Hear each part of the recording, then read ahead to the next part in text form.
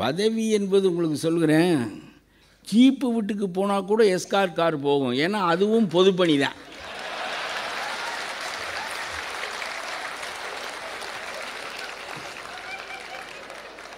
ஆனால் காந்தி வளர்த்த காங்கிரஸை நக்மா தான் வளர்க்க முடியுங்கிற காலத்தில்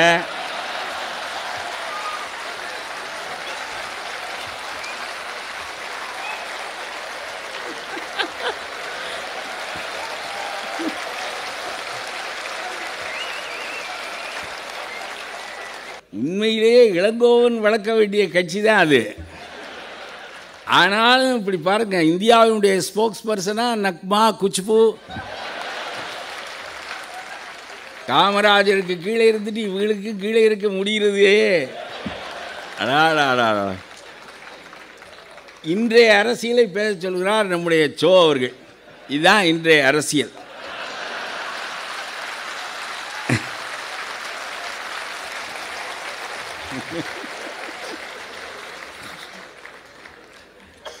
சோ அவர்கள் உடல்நலம் தேறி இன்றைக்கு உங்கள் முன்னால் காட்சி அளிக்கிறார்கள்.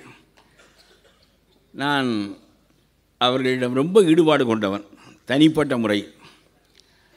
அடிக்கடி அவர்களை பார்த்து பேசி கொண்டிருப்பேன். ரொம்ப ரொம்ப கூர்மையானவர் ரொம்ப கூர்மையானவர். நம்ம பேச தொடங்கின உடனே நான் என்னுடைய வாழ்க்கையில் சந்தித்த நேரடியாக பழகுகின்ற வாய்ப்பு கிடைத்த ஒருவர் காமராஜர் இன்னொருவர் ஷோ உன்னை பேச ஆரம்பித்தோன்னே நீ சொல்கிறது புரியுதுங்கிறேன். என்ன சொல்ல வர்ற சொல்லுங்கிறேன் அப்படின்னு முடிவை சொல்ல சொல்லுவார் காமராஜ் அஞ்சு நிமிஷம் அவர்கிட்ட பேச முடியாது. ஏன்னா நம்ம பேச ஆரம்பித்தோன்னே இவன் எங்கே வருவான்னு அவருக்கு தெரியும். அதே மாதிரி தான் சோ சரி சரி அதானே சொல்கிறியே அப்படிம்பார். ஆடை இதுக்கு இவ்வளவு நேரம் யோசித்து இதுக்கு இவ்வளவு பில்டப் கொடுத்து இவருக்கு சொல்லணும்னு நினச்சா ரெண்டு நிமிஷத்தில் அதை வெட்டிடுவார். அவ்வளவு கூர்மையானவர் ரொம்ப நேர்மையானவர். எல்லாவற்றுக்கும் மேலாக நாற்பது ஐம்பது ஆண்டு காலமாக தமிழ்நாட்டின் நிலையான எதிர்க்கட்சி தலைவர்.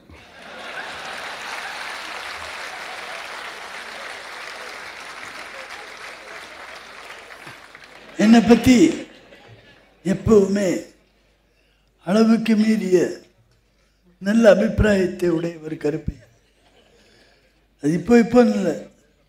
அவர் ஜனதா கட்சியில் இருந்த போயிலிருந்து இந்த மாதிரி தான் இருந்திருக்கு. அவர் எதிர்பார்க்கிற அளவிற்கு அவர் வர்ணிக்கிற அளவுக்கு அவ்வளவு திறமைகளோ நேர்மையோ படைத்தவன் அல்ல நான். ஆனால் அவருக்கு அப்படி ஒரு நல்ல அபிப்பிராயம். இந்த மாதிரி ராங் ஜட்ஜ்மெண்ட்ஸ் அவரால் பண்ண முடியும்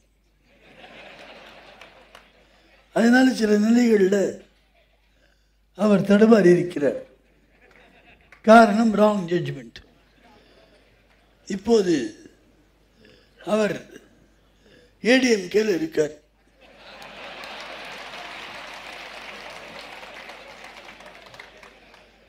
இருக்கார்.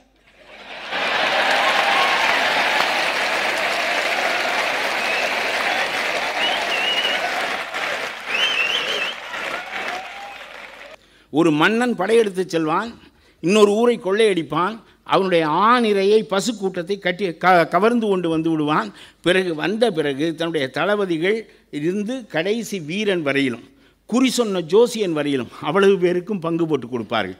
இதற்கு சங்க இலக்கியத்தில் பாதீடு என்று பெயர். அது கண்டனத்திற்குரியதாக இல்லாமல் அது ஏதோ இயல்பு போல சங்க இலக்கியத்தில் பேசப்படுகிறது. பாதீடு என்பது பகிர்ந்தழித்தல் அந்த முறை நம்முடைய ஜனநாயகத்தில் சங்க காலத்திற்கு பிறகு இப்பொழுதுதான் செழித்து ஓங்குகிறது.